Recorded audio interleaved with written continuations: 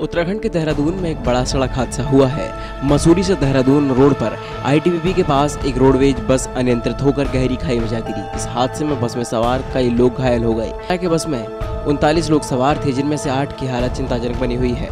देहरादून जिलाधिकारी सोनिया सिंह घटनास्थल पर पहुँची और घटना का जायजा लिया। जिलाधिकारी घायलों को देखने के लिए जिला चिकित्सालय अस्पताल भी जा रही हैं। सड़क हादसे की सूचना मिलते ही Mussoorie police fire service 108 ambulance मौके के लिए रवाना हो गई।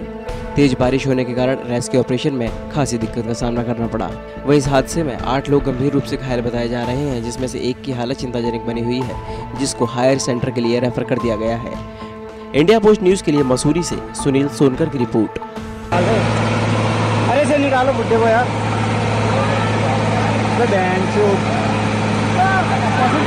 है